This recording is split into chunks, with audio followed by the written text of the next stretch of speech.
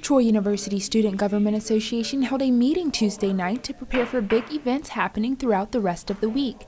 The first event held Wednesday night will be the pep rally and Trojan Madness, where students will help cheer on the football team and prepare for basketball season. Athletics is giving out all kinds of stuff for Trojan Madness uh, clothes, t shirts, all kinds of stuff. Um, ESPN is going to be there filming, so you could be on TV.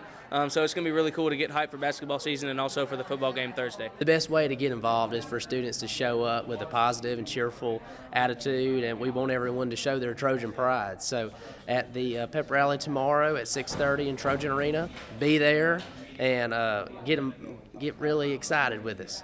And while some students will be rooting for the Trojans, others may be looking for a way to get involved on campus. The SGA passed a constitution for a new organization, the Canterbury Club. They're, they're based off of uh, Christian principles, the uh, Episcopal denomination, but they do so many other things. They like to get students involved on campus, they like to do activities and service projects, and from what I understood, they just really like to to get people together and, and let people make friends, you know, and just feel at home and comfortable. You know, a lot of students come to Troy and they don't know how to get involved, and a lot of times they get bored when they're not doing schoolwork. So, uh, any campus organization is a good way to get involved, but I think adding the Canterbury Club will really just give students another way of getting involved on campus. The SGA also discussed Giving Day and its importance to the university decided to uh, make a donation towards Giving Day. Giving Day is very important to the university. It's how we sponsor buildings. It's how we sponsor uh, new academic programs.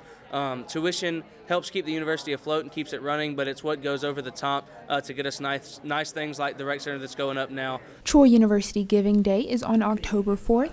Shanteya Wilson, Troy, Trojan Vision News.